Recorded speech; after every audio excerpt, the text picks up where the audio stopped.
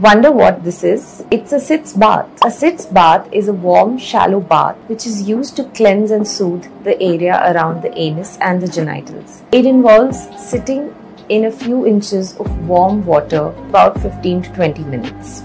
Sitz bath can be beneficial from people who suffer from conditions which affect the anal or the genital area, especially women after childbirth who have episiotomies or perineal tears which are painful hemorrhoids, fissures, vulvar or vaginal irritation, or Bartholin cyst. The warm water in the sitz bath helps reduce the swelling, inflammation, and pain associated with these conditions, and it also helps in aiding healing by increasing the oxygenation and blood supply to the affected area. Adding Epsom salt or other soothing agents can enhance the therapeutic effects of the sitz bath. Sitz bath are easy to take at home and you can repeat it several times in a day. It is important to consult your healthcare provider before using sitz bath, especially if you have conditions like an open wound or an infection or other medical conditions. In addition to sitz bath, using other self-care measures